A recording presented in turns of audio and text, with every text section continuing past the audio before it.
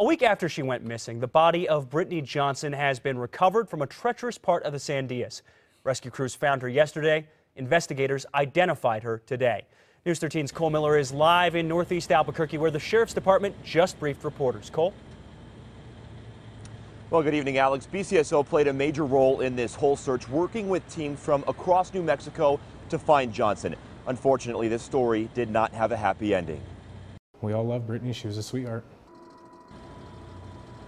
The 24-year-old was found just before 5 o'clock last night at the bottom of a cliff just south of the Sandia Crest parking lot. Now, because of where she was found and weather conditions up there, it took crews more than six hours to recover her body. Johnson went missing last Saturday, last seen leaving a spa near Broadway and Mountain.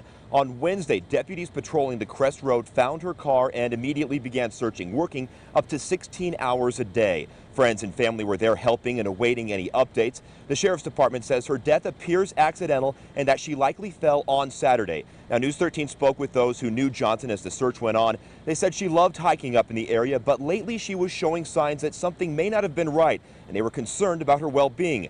One more friend says it's been a long and trying week. It's sad.